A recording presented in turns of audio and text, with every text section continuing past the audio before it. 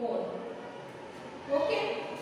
अब देखिए, हम यहाँ पे सीखते हैं कि एक ही उद्गम बिंदु वाली दो भिन्न किरणें क्या होती है? अभी मैंने आपको कैसे समझाया, देखिए, किरणें क्या होती है? कोण होती है अब यहाँ पे समझिए एक ही उद्गम बिंदु है ये है उसका उद्गम बिंदु और यहाँ पे एक लाइन गई और यहाँ पे एक लाइन गई तो इसे क्या कहते हैं हम एक ही उद्गम उद्गम बिंदु को कोण क्या कहेंगे कोण अब देखिए बोर्ड पे देखिए सबने कुछ लिखना नहीं है नब्बे से कम माप वाले कोण को क्या कहेंगे हम नब्बे से कम वाला होगा तो न्यून को क्या कहेंगे न्यून को न्यून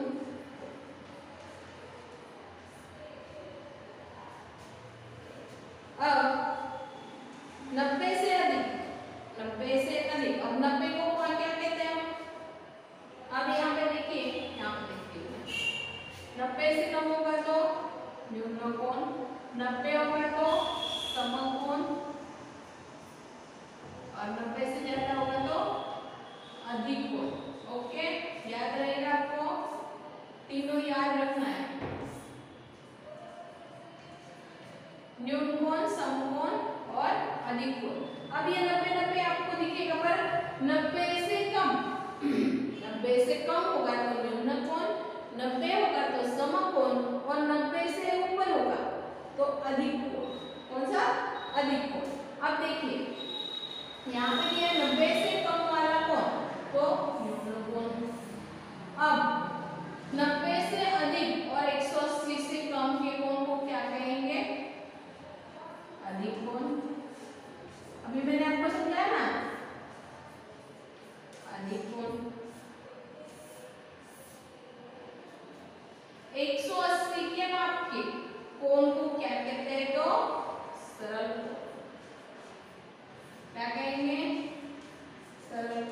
मतलब क्या कि वो 180 कम नहीं, ज़्यादा ओके?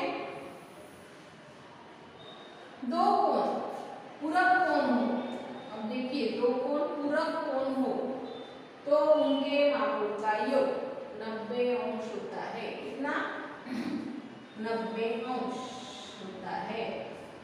पूरक कोण के दोनों कोणों का माप नब्बे अंश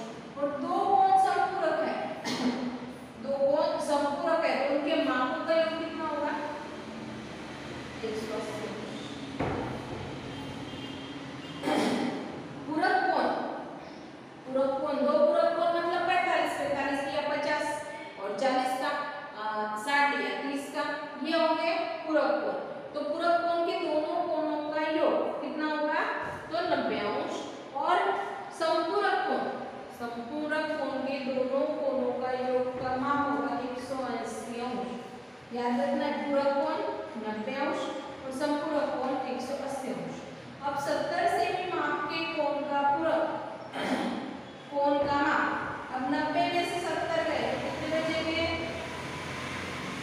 बीस अंश मतलब हमारा एक कोण होगा सत्तर अंश का और एक कोण होगा बीस अंश का तब जाके हमारा पूरक कोण बनेगा नब्बे अंश का ओके एक सौ बीस अंश माप के संपूर्ण कोण हाँ तो 180 में से 120 गए तो कितने बचेंगे बच्चों? 60 अंश। समझ में आ रहा है? 120 और 60 180 तो हमारा काम क्या होगा? 180 तो यहाँ पे हम लिखेंगे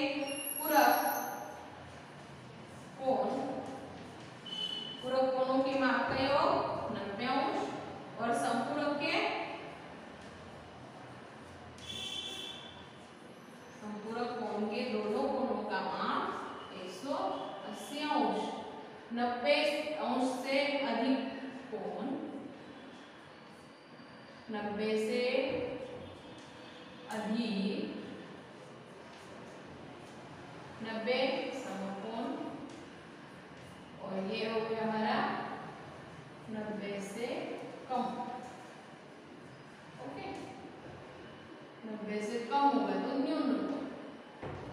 ये आपको किताब में दिया है तो आपको उसे समझना है और करना है। अब देखिए आगे दिए खाली जगह है। कि रेखिक युग्म की मैंने यहाँ पे आठ तक लिखा है तो आगे देखिए रेखिक युग्म के दो कोणों का माप का योग तो कितना होगा 180 अंश रेखिक युग्म के 110 माप के रेखिक युग्म के कोण का माप 180 में से 110 गए तो कितने बचेंगे 70 अंश अब 50 माप के सम्मुख कोण का माप सम्मुख यानी सामने सामने सम्मुख कोण का माप वही होगा 50 के सामने वाला 50 यानी 50 का सम्मुख कोण होगा 50 याद रखना। है रेखिक युग्म बनाने वाले दोनों कोण संपूरक कोण होते हैं। रेखिक युग्म बनाने वाले दोनों कोण संपूरक होते हैं मतलब 180 अंश के होते हैं।